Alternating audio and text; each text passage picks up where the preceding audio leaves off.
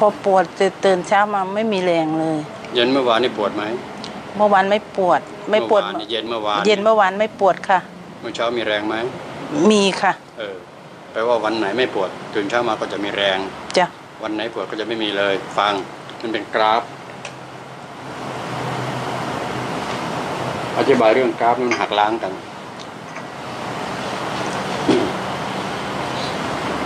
ตั้งฉาก งเลยนะ ยิ่งมีความปวดมากเท่าไหร่ความปวดในกล้ามจะขึ้นสูงแรงจะน้อยลงไป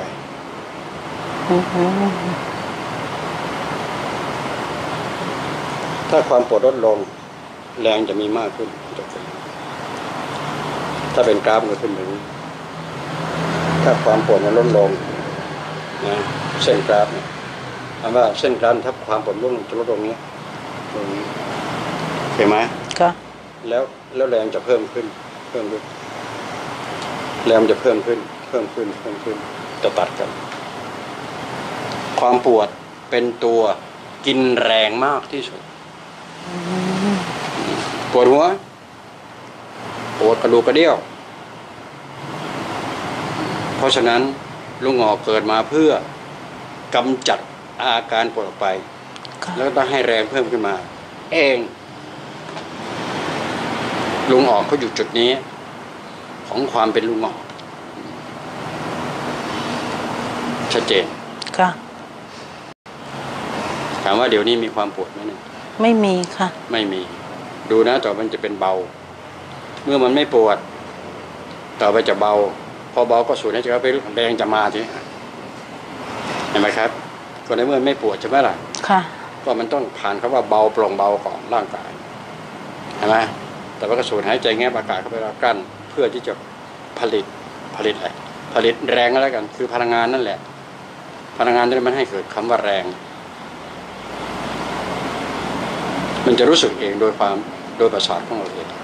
ตัวนี้ไม่ต้องใช้ตำราเล่มไหนค่ะ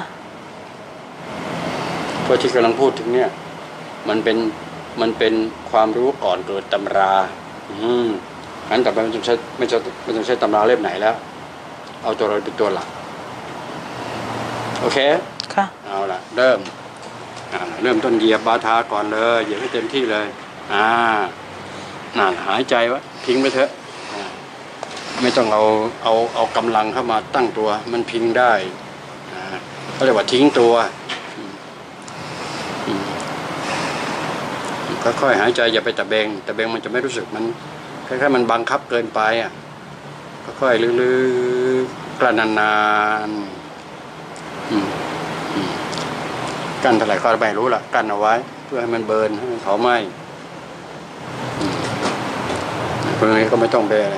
ให้รู้สึกว่า เออ มันถูกกระตุ้นนะอย่างเงี้ยอย่างเงี้ย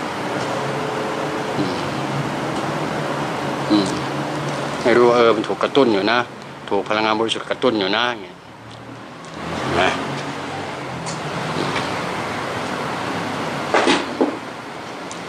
นะ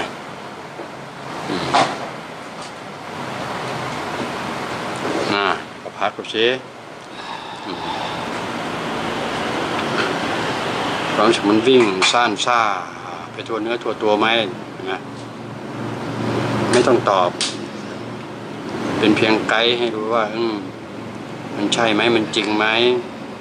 เพราะว่าเป้าหมายคือโปร่งเบาก่อนเห็นไหมฮะอืมรู้สึกว่าตัวเหมือนกับไปนั่งนอนอยู่นู่นนะอากาศหรือเปล่าประมาณนั้นเบาวิวไปนะ อืมมาจินตนาการอืมไม่ใช่จินตนาการแบบฝันเฟื่องนะ เป็นความรู้สึกจริง ๆ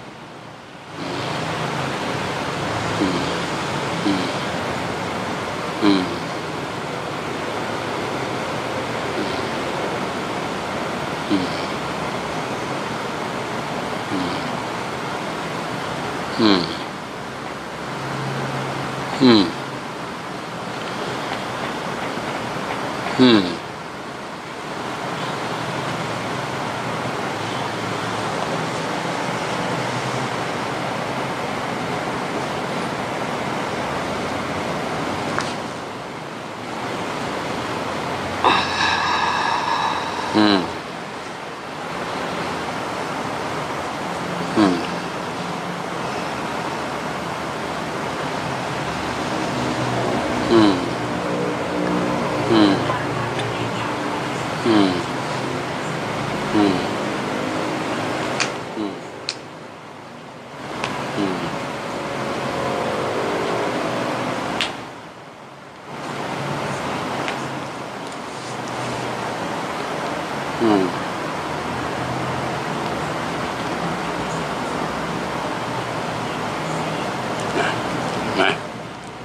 ค่นี้หรือเปล่าเนี่ยอืมอืมอืมนะเข้าหัวใจทีนี้อืมอืมอืมนี่เป็นแค่กระตุ้น ระตุ้นไม่ไม่แตกหักแน่นอน มันเข้าไปหัวใจกันพลังนี้ไม่ได้นะรถไฟถ้ามันยังไม่เข้า เปิดทางให้มันสักหน่อยนึงอืมอืม อืม อืม ไหวไหมเนี่ยโอเค อืม เข้าจังหวะได้เลยอย่างนี้ ไม่ต้องระแวง ยังไงกระดูกซี่โครงก็ไม่หักแล้วใครจะไปทำให้ถึงขั้นหักหักก็แย่อีกนะเห็นไหมแค่นี้ก็โล่งทั้งโลกพระจันทร์แล้ว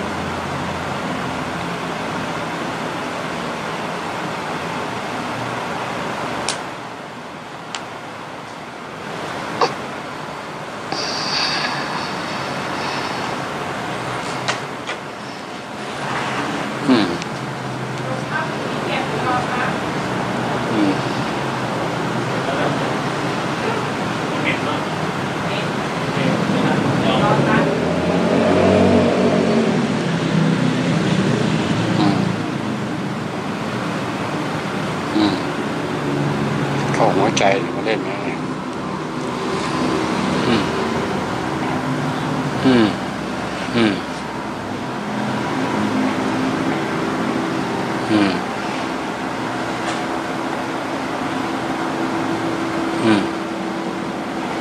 นะอืม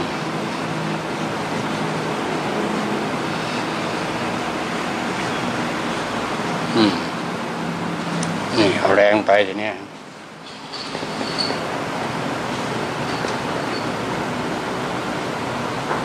จริงไหมนะเจ้าตัวจะต้องรู้เองคำว่าแรงตรงนั้นแต่คนเขาเจ้าของพลังงานบริสุทธิ์ จะต้องรู้ล่วงหน้าหมดแหละต้องบอกว่าเป็นเจ้าของพลังงานบริสุทธิ์แล้วใครทำใหม่ใช่ไหมอืมอืมต้องเป็นเจ้าของที่จะเอามาใช้งานได้ ไม่ใช่เป็นเจ้าของจะมาใช้ได้ยังไง อืมอืมอืมอืมทำไมล่ะ ทั้งหมดอยู่ที่ผู้รับเนี่ยนะอืม เออ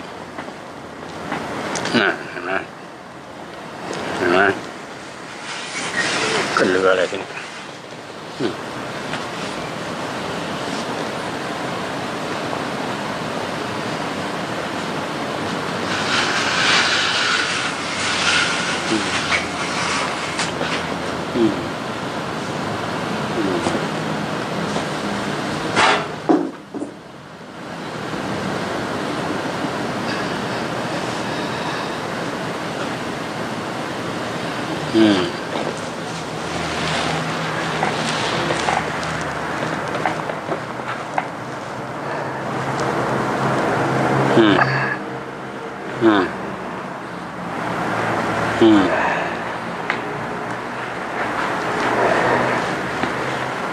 โทษ เห็นไหมแถมเลยทีเนี้ยเอาไปเยอะพลังงาน เห็นไหมเอาหัวเบาทีเนี้ยมันขึ้นหัวเลยล่ะอืมปากเบี้ยวก็หายเบี้ยวซะประมาณนั้น แต่อย่าปากมาก ปากเบี้ยวไม่เป็นไรแต่อย่าปากมาก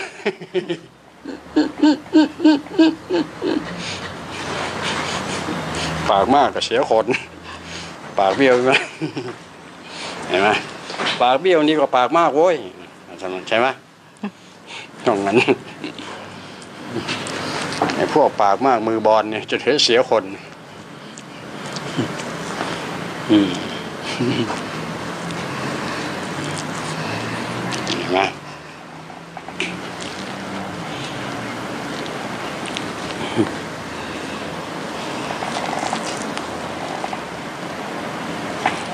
นะ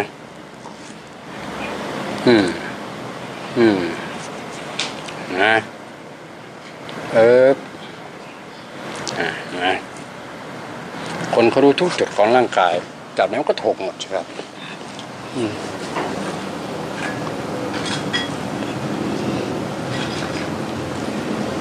นะอืมอืมอืมเห็นไหมบิ นเลยโยม บินเป็นกาเป็นอะไรก็ว่ากันไปอยากจะเป็นหงส์ก็เชิญเป็นกาก็เชิญอย่างนี้อะอืมอืมอืมต้องไป เอานี่ไปด้วยถ้าจะไปนะอืมอืมอะบ่นไปเลย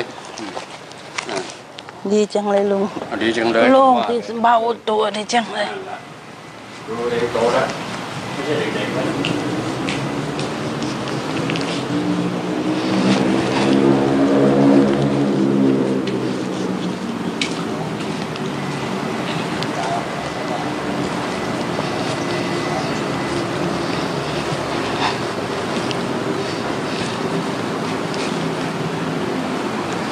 แล้วปิดปีปิดปีนั่งยองลุกขึ้น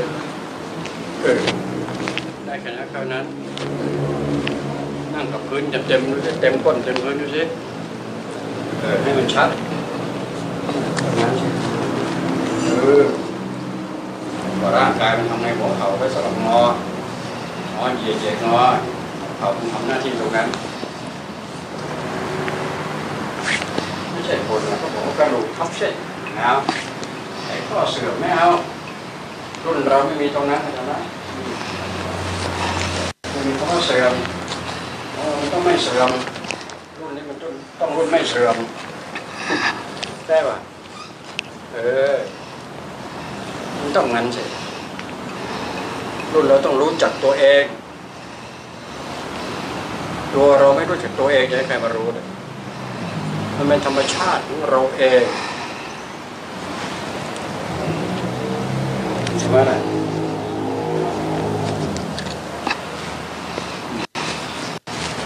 ทำไม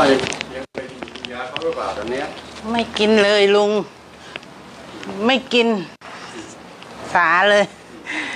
ทำไมถึงไม่กินน่ะก็โหยลุงขอเล่านิดนึงวันที่จะสุดๆน่ะ พยายามแกงให้เสร็จแล้วก็เดินไปอย่างเงี้ย เดินเป๋เป๋อย่างงี้เลย แล้วก็เพราะนั้นก็งับอากาศงับอากาศเสร็จแล้วก็กลับบ้านโอ้ยเอาไงดีวะฟุ้งซ่านใหญ่เลย กลัว กลัวอะไรเอายังไงวะอยู่คนเดียวด้วย กลัวอะไรเขาว่ากลัวกลัวกลัวเส้นเลือดมันแตกอีกข้างหนึงกลัวตายกลัวตายค่ะ กลัวตายโอ้โหยังใช้ชีวิตไม่พอเลยกลัวตายโอ้ยอ้าวก็มานอนงับถ้อากาศไม่ตยก็ลดโลกเสียมนุษย์ เอ้เอาว่ายไปให้รอดมาได้ยังไงอ้าวโอ้โห งับอากาศเช้ากลางวันเย็นก่อนนอน งับนับได้ถึงห้าสิบวิอืมกั้นจน พอเกือบจุดๆๆแตกก็แล้วกันจะพอ น้ำหูน้ำตาแตกใช่ ยังดีจะไม่ออกข้างล่างใช่ตดด้วยไปแล้วงับ เออโอ้โหเอาไงดีวะเนี่ย ก็โทรหาลุงวันนั้น พอโทรหาลุงสามวันได้อะเนาะวันนี้มันก็ค่อยๆดีขึ้น แต่ก็ยังไม่เต็มร้อยอืมก็งับอากาศมาเรื่อยอืมพอพักกลางวันก็งับ ฟังค่ะอากาศเป็นยาประจำตัวจำนี่แหละของยาประจำตัวอยู่ขั้วโลกไหนก็ได้ไปไหนก็เป็นประจำตัว อากาศนี่คือยาประจำตัวค่ะจากปากลุงงอกโอเคไหมค่ะอืมส่วนยาประจำบ้าน เอาไว้ที่นั่น ยาประจำโรงพยาบาลที่คนอื่นเขาใช้ ต้องคิดอย่างนั้นกำลังพูดว่าเรากำลังประหยัดเงินของโลกของบ้านของเมืองนั่นเนี่ยอ้าวใช่ป่ะค่ะเออเราไม่อย่าไปใช้บริการเขา ประเทศชาติจะได้ประหยัดกัน ไม่ใช่ของฟรีแต่พิจพือไม่เอาให้หนูเขาใช้กันถ้าเขาอยากใช้เรื่องของเขาไม่ใช่เรื่องของเราสามสิบบาทให้ทุกโรคที่ว่านั่นน่ะโอเคไหมค่ะอีกหน่อย ไม่เกินประมาณห้าปีจะมีคำหนึ่งออกมา เป็นวาทกรรมสามสิบบาทนี่แหละ โอเคนะ ค่ะ แต่คำนั้นขอกักเอาไว้ก่อน